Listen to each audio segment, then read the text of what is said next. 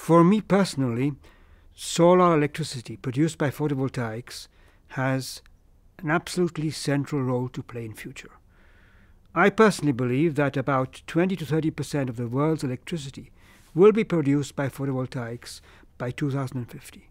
In fact, photovoltaics is one of the very few sustainable forms of electricity generation that can be used also in a decentralized way. Silicon is a key material for photovoltaics. Unlike many other materials used presently for solar cells, silicon is both abundant and non-toxic.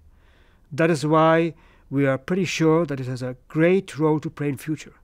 Now we should distinguish, talking about silicon solar cells, between wafer-based crystalline silicon solar cells and thin film silicon solar cells. The wafer-based crystalline silicon solar cells have attained very high efficiencies of over 20%, but they need a tremendous amount of production energy, which takes several years to recoup from the solar insolation.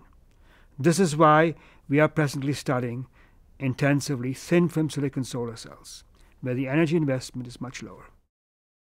For wafer based crystalline silicon, I recall that there was a major breakthrough in the mid 80s when all of a sudden three groups in the world a Belgian group, a, an American group, and an Australian group increased the efficiencies of these solar cells by a few percent in one go and brought them up to values that were above what was then thought to be the theoretical limit, up to almost 23%.